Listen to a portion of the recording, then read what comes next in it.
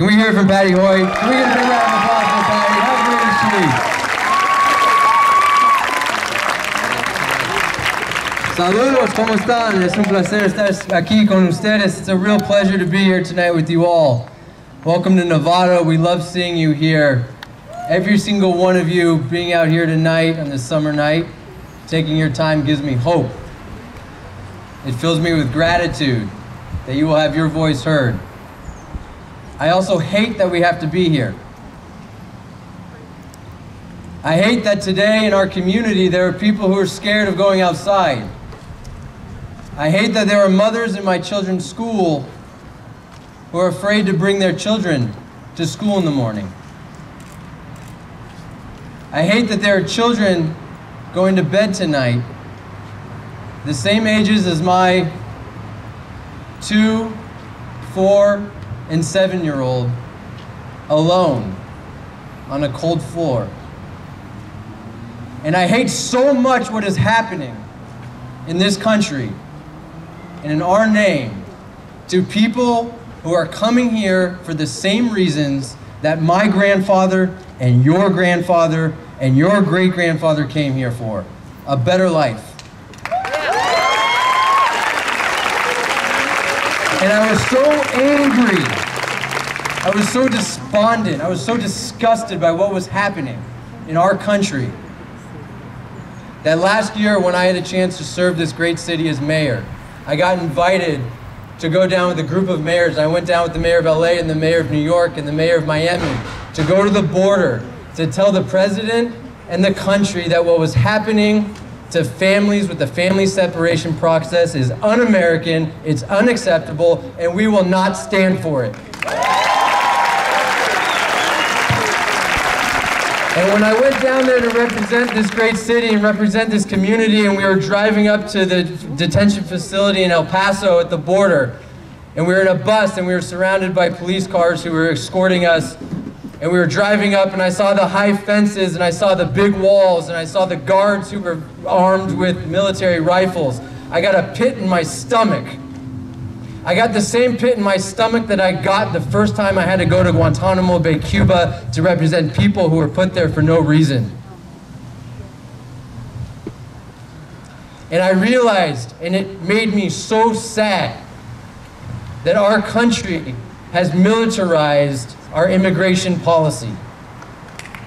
And you listen to the rhetoric out of Washington, you listen to the rhetoric in this country, and we are treating children like enemy combatants.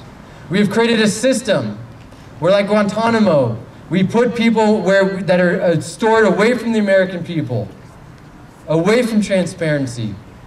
We don't know the conditions, and we are told to trust our government. These are atrocities that are happening at the border. They're shameful. They're disgusting. The people that are perpetrating them are sick. But the reality is, friends, this moment is not about them.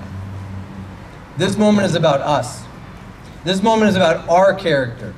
This moment is about who we are. What are our values?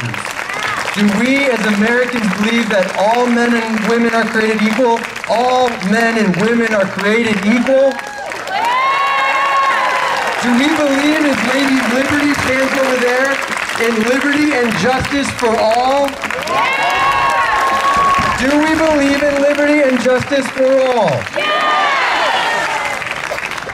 Martin Luther King. This is one of my favorite quotes. Many of you have heard it. Martin Luther King once told us, wrote to us, each and every single one of you,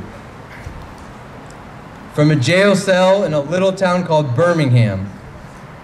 He wrote a letter.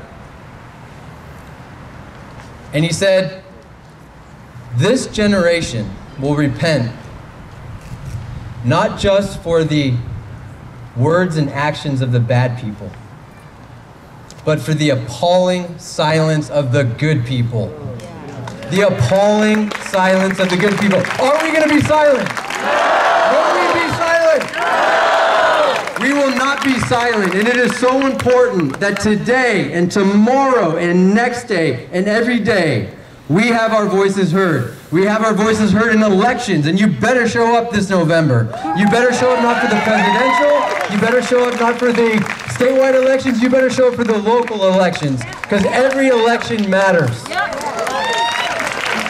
You better show up and have your voices heard by giving money. Giving money because you have it, we have it, and those people who are being harmed in the name, in our name, need our help. You can have your voices heard by giving time, your time. And finally, you can have your voices heard with the rhetoric that we use with each other with the way that we look into each other's eyes and each other's hearts, and to the mothers that go to your schools, the people that you work with who drive in our streets, and you can look them in the eye and say, I see you. Te veo. I see you. And you are as important as anyone in this community. And your children are as important as my children, as your children, as your grandchildren. And that is how we will change this country.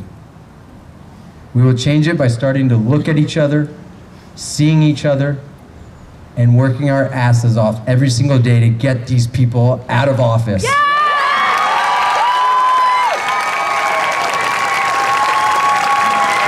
Strength is our ability as a country, de Tocqueville said, to repair ourselves. Well, I say it's time to repair our souls, it's time to repair our hearts, and it's time to repair our countries. Thank you, Novato. Thank you for coming out. God bless.